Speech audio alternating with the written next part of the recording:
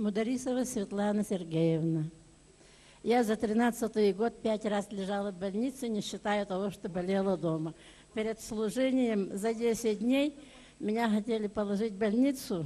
Я сказала, нет, не пойду. Я пойду на служение исцеления.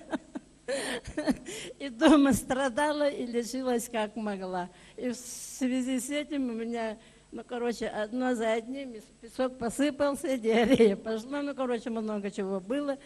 И вот на первое служение пришла, в середине служения я побежала в туалет. Ну, там поприказывала, по это, как надо. И все, с тех пор у меня нет диареи.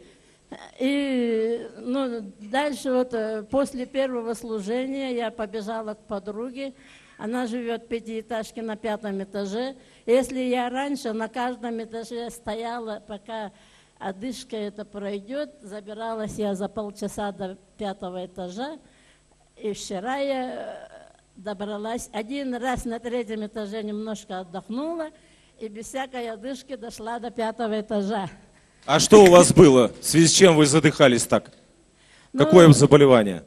У меня на легком ставят 8 диагнозов, от астмы там на бронхоэктазы, пекисты, ну, прочее, прочее.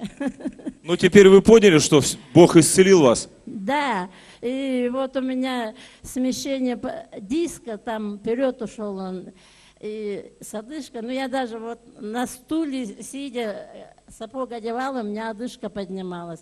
Я наклоняться не могла, у меня сердце сразу биться начинало. А сейчас вот как? О, ладонью достает. Слава Богу! Воздайте хвалу Господу! Ладонью достает. Вот